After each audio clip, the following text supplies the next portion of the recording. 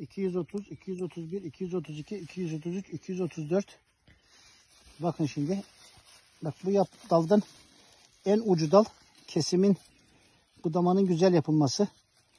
235, 236, 237, 238, 239, 240, 241, 242, 243,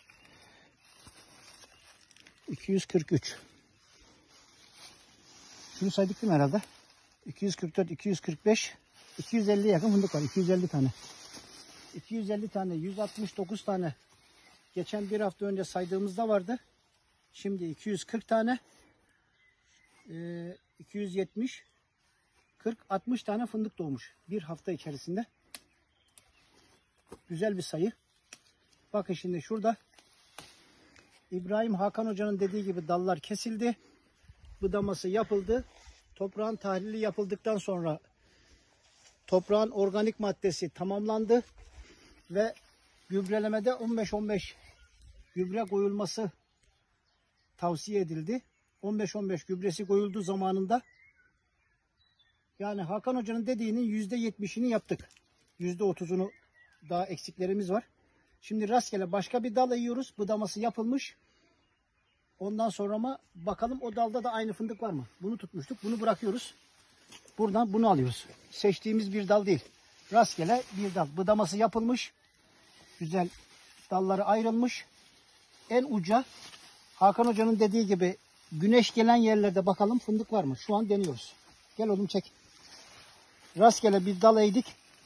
Bakın dalın en ucu 1, 2, 3, 4, 5, 6, 7, 8, 9, 10. Bakın şurada.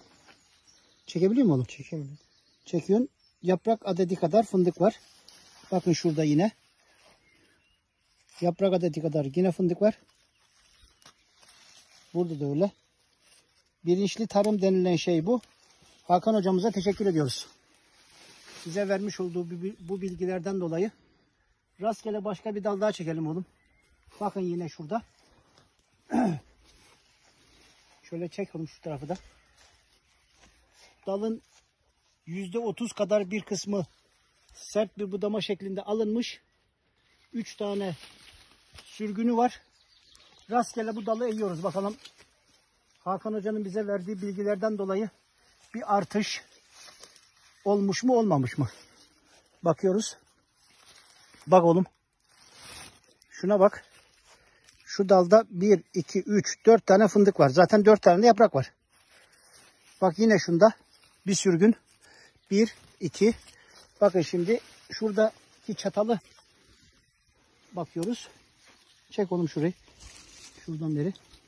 Bakın arkadaşlar. Gübrelemesi zamanında yapılmış.